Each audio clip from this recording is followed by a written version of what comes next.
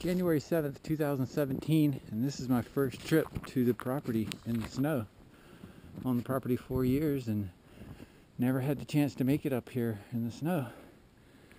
Well, there's the tiny house. It looks so much cleaner in the snow.